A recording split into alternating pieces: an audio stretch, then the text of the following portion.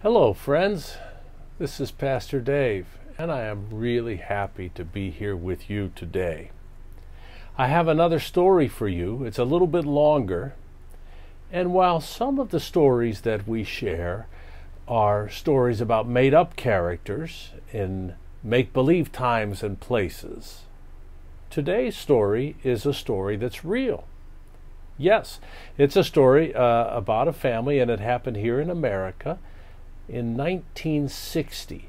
That's the year I was born, so that's a long time ago. The story that I have chosen for today is called Freedom on the Menu. And it's a story that helps us to look into a time in our country when people were really separated by the ways that they looked. People with darker skin had to follow different rules than people like me with light skin. It was a very confusing and painful time, and we're still talking about it a lot. Freedom on the Menu helps us to look at it through the eyes of an eight year old child. Freedom on the Menu was written by Carol Boston Weatherford, and the paintings were made by someone whose name is Jerome Lagarrigue. I think is how you say it. Listen. Just about every week, Mama and I went shopping downtown. I loved having her all by myself for the afternoon. Whenever it was hot or we got tired, we'd head over to the snack bar in the five and dime store. A five and dime store is a store that sold a lot of little things and they usually had a, a little lunch counter in them. We would stand as we sipped our cokes because we were not allowed to sit at the lunch counter. Once I watched a girl swivel a stool as she spooned a banana split. In the empty seat beside her was a purse almost exactly like mine. Can I have a banana split? I begged Mamma. Not here, Connie, said Mamma. I'll fix you one at home. Won't be the same, I grumbled. All over town, signs told Mamma and me where we could and couldn't go. Signs on water fountains, swimming pools, movie theaters, even bathrooms. Everybody I knew obeyed the signs, except my great Aunt Gertie from New York. Once, when she visited me, she drank from a whites only fountain and said real loud, I never heard of colored water. Have you, Connie? Then she lifted me up so I could take a sip. I looked up from the fountain. Y'all know better than that, a man scolded.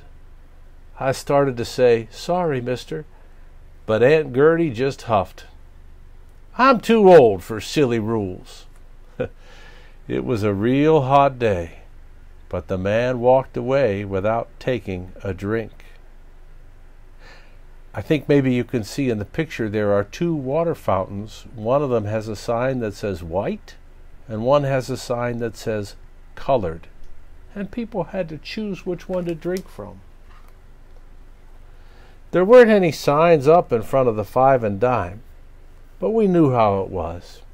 Most people didn't expect change any time soon, but my daddy thought different. Dr. King is coming to town, he told us one morning. Who's sick? I asked. Oh, he's not that kind of doctor, Connie, Daddy laughed. He's a minister who's working to make things better for us, said Daddy. So we can go anywhere we please, said Mamma. Like the lunch counter? I asked. Yep, said Daddy, and other places too. Later that week, our whole family went to hear Dr. King preach at the college chapel. I didn't really understand all of his speech, but I liked his booming voice. It sounded as if he believed that God was on our side. Every few minutes, Mama said, Amen, and when Dr. King sat down, everyone stood and clapped for a long time. Soon after that, my brother and sister joined the National Association for the Advancement of Colored People. Everyone called it the NAACP. They let me tag along as they went door to door helping people to sign up to vote. I never voted in my life, said a white haired lady leaning on a cane. Will I get to vote for the president? Yes, ma'am, I said. My brother wants to be president when he's all the way grown. Tell him he's got my vote, she chuckled. And hold on to those big dreams, she said, handing me her voter registration form. Yes, ma'am, I'll tell him, I promised, thinking about my own dreams too. Times are changing, she said waving as I left. One day, Mama and I went shopping downtown. We stopped at the snack bar, just like always. I tugged at Mama's sleeves. Look over at the lunch counter. We know those boys. There sat four of Brother's friends from A&T College. Do they know they're in the wrong place? I whispered. Some rules have to be broken, Mama whispered back. I heard one of them order, Coffee and a donut, please. I'm sorry, we can't serve your kind, said the blonde haired waitress, wringing her hands. The boys didn't budge. Don't y'all understand English? a kitchen worker asked. Go on over to the snack bar, she hissed. Stop making trouble here. The manager tapped his foot and jutted out his chin. They can sit there forever for all I care, he said, storming out of the store. An old white lady came up to the boys. I'm so proud of you, she said, clear as a bell so everyone could hear. I wish someone had done this sooner.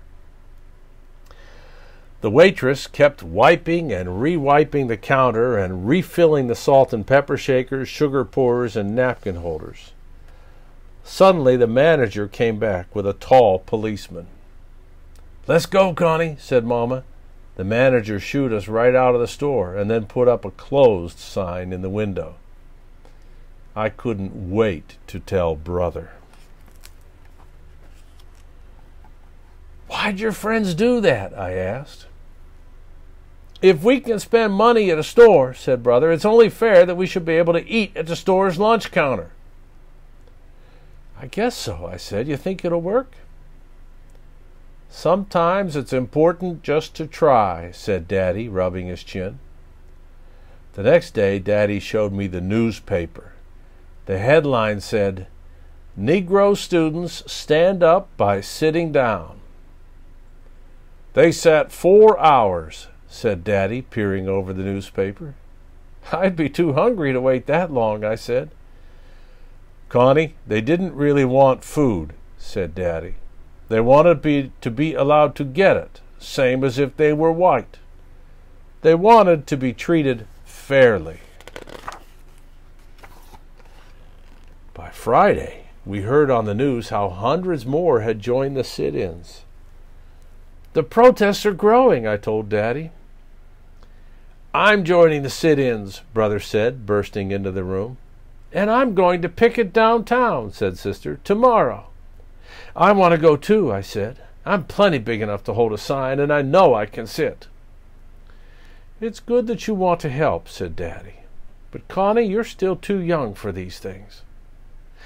I never get to do anything important, I pounded. You can help us make picket signs, said Sister. That's very important.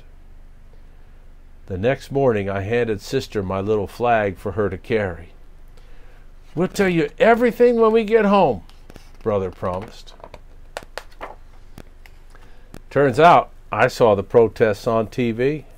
Hundreds of people walked up and down the sidewalks in front of stores, restaurants, and movie theaters.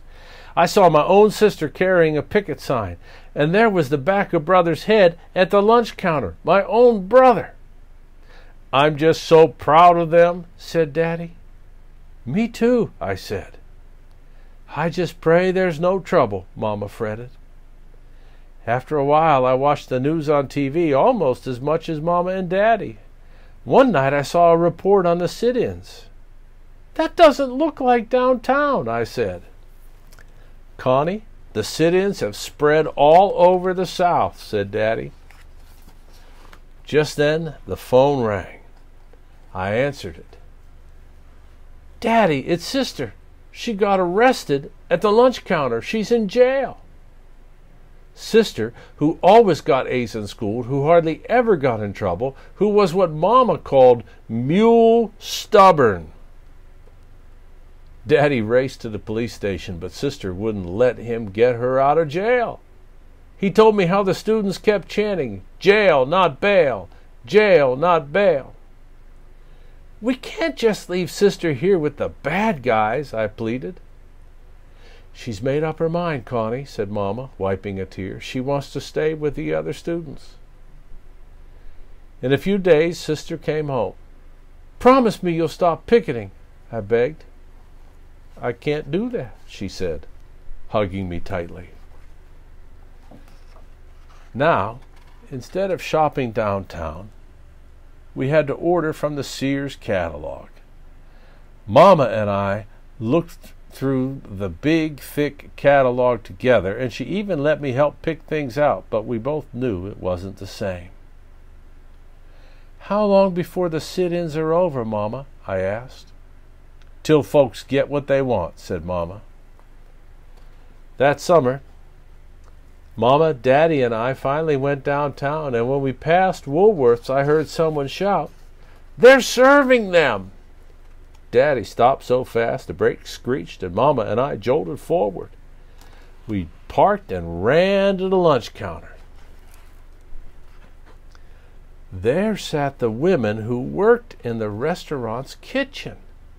They were all dressed up fancy and eating egg salad. Whew! I can't even stand the smell of egg salad. But I stood and watched them eat every bite. Looks pretty good, I said.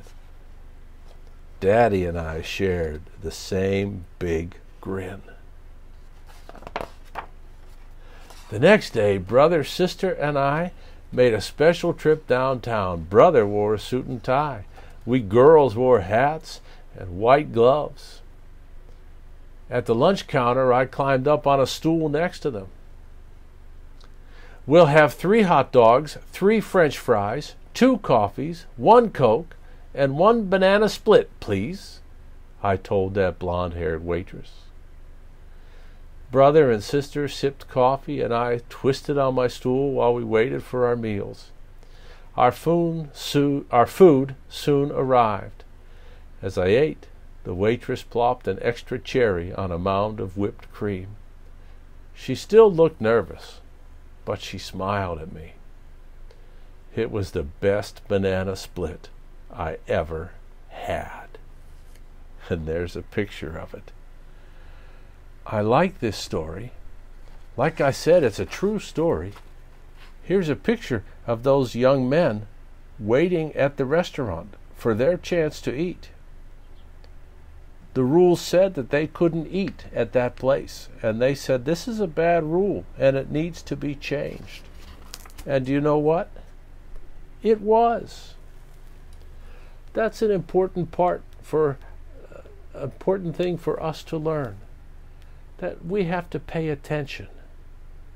We need to be attentive to the rules, yes, but we need to make sure the rules that we have are the right ones. I hope that you'll talk with your mom or dad, the people who love you, about the ways that you can look to do what's right and help your neighbor. I'm glad we're together today. I'm Pastor Dave. I won't be here tomorrow because it's a church day, but I'll see you on Monday with a new story. Goodbye.